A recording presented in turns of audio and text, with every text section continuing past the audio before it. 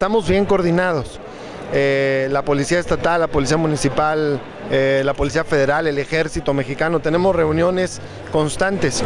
Si ustedes pueden ver ahorita, eh, en la feria tenemos saldo blanco y no es obra de la casualidad, es que estamos trabajando todos en coordinación con un solo mando y cada quien hacemos la parte que nos toca. Yo creo que hay que analizarlo muy bien.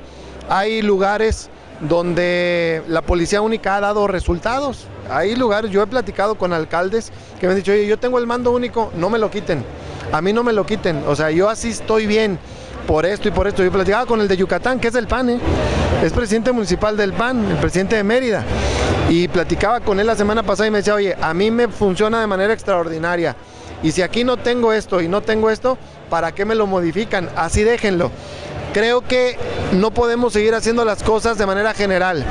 Y los que hablan así es porque no conocen la realidad de nuestras regiones.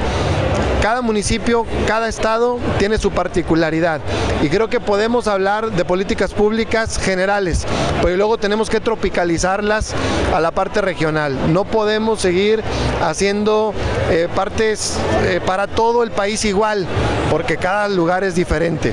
Si en el análisis Durango requiere de la policía única, que se haga, pero que funcione. A la gente no le interesa, a los ciudadanos no nos interesa si es municipal, si es estatal, si es federal, si es el ejército, queremos tener seguridad.